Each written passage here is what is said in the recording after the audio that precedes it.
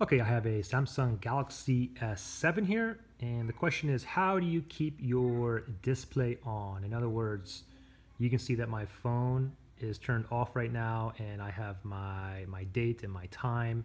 How do you keep this on? And, this is great too. This is supposed to be a battery saver because all the other previous phones, I mean, you don't have that option. You just have to like basically click on the power button or the home button here for this to come on. This wastes a lot of battery juice, turning it on, off and on. So how do you put this on is very simple. You want to do is you want to go into your phone.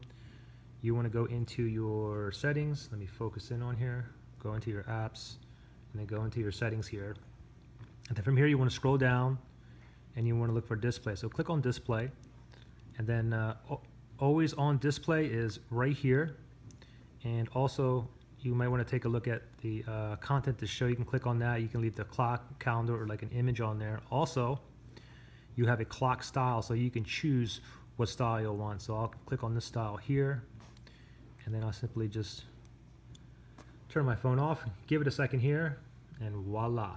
Any other questions, comment below. If you guys subscribe, like, that'll be awesome. Thanks. Bye.